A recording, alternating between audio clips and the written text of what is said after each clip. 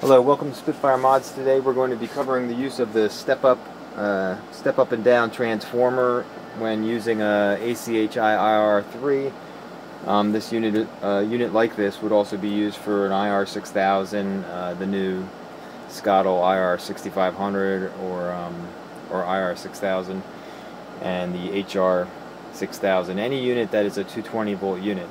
Now, one thing we wanted to cover, and a lot of customers ask this, is uh, can they just run a 220 outlet to the wall and run their machine on US 220 power? And some people believe that US 220 power is the same power requirements as the 220 which is required for European power and it's not the same it's actually um, 220 US power is two phase 220 which means it's two waveforms of 115 which double up to create the 220 uh, so it's two phases, which are the um, the waveforms you would see if you if you Google it, you'll see what I mean. But um, what we're here to talk about is the fact that the 220 US is not the same as the European uh, power. 220 US is two phases, where European is single phase. Uh, so just like your wall out with 115 in the United States is just one waveform of 115 alternating current, so you have a positive side and a negative side 115 volts. Um, the European power is the same thing, but it goes to 220, so it's a much stronger voltage, which is going to put out a higher heat. The resistance of these plates are set to 220, and what what will happen if you plug the unit into a 115 unit at at your at your home or office? What's going to happen is your unit will run at about half the heat output that it normally can run at. So you might find your unit when you first plug it in, you might find it to be sluggish and not getting up to the temperature. You're running a profile and it never gets there and that's what it'll do when you run it. Sometimes these panels will just sit there and blink. Um, typically, if you have a PC410 unit, one of the panels will sit there and flash uh, because it's not able to get enough voltage, and then the other unit will actually work, and that's because um, some of these panels will actually work on 110 and 220 and some won't. So you might have a panel not working, uh, your unit may not power up at all, or um, it won't work correctly, it won't get hot enough. So that's the problem you have if you plug it into 115. If you plug it into 220 US, you might actually create more heat, but you're not quite getting the profile to run the way it's supposed to, and that's because the 220 uh, two-phase, for some units, it will actually make the unit work. Um, but it won't actually get you uh, the profile the way the way you would need it to be, and it may not just be hot and ramping fast enough. So it may work for your unit, but may not work quite correctly. It could be very hazardous because these unit, European units are engineered to have one hot leg, one ground leg, or neutral leg, and then a ground.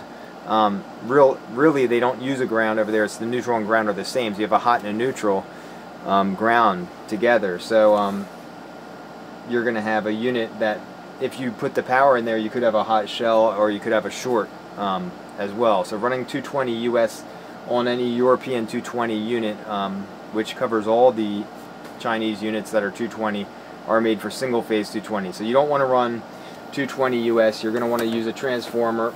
Um, the transformer will plug into the US 115 and typically on the back of your transformer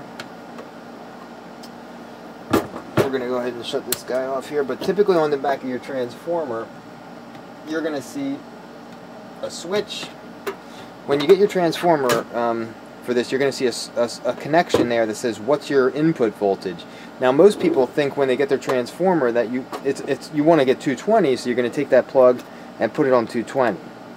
But this is actually the input, so it's asking what what are you plugging into. So rather than what your output would be, which is you know what most people logically think that is, it's what's your input. So you're going to set that to 110. There may just be a, a dummy switch which goes which goes left and right, um, like this here.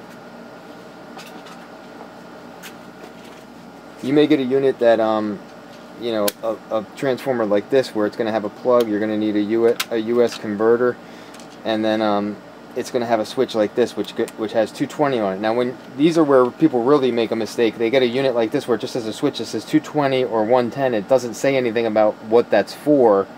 Uh, it actually says select a voltage before using. Now I would even think, and, and anybody would think, well, select voltage before using, well, I want 220, so I'm going to put it on 220, but this is the voltage in, so putting on 220 actually steps the voltage down another half, so we end up with 60 volts rather than 110, than 110 rather, uh, rather than 220, so we're stepping down. So you actually want that on 110, and it's saying select a voltage. We're going to give it 110, and then um, and here it does say input 220 or 110. A lot of the units don't actually have that on it though, and and they just have that little small switch on there. So that needs to be set to 110 typically, and uh, and check the manual or, or contact the manufacturer that you bought it from. But typically, every unit I've ever seen is is selected for the input voltage, and then your output will be, you know, and here it says output 110 or 220.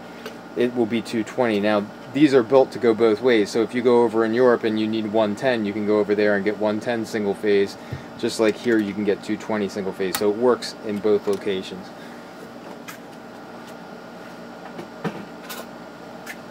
So this is the end of our, our transformer um, video, but basically what we covered is the fact that you would be giving your transformer 110, and then your transformer is going to create 220 for your unit, and then your unit is going to plug into that. And that's how you would run those. Some have two outputs, they'll have a 110 and a 220 output, so we're going to run, run it off our 220 output.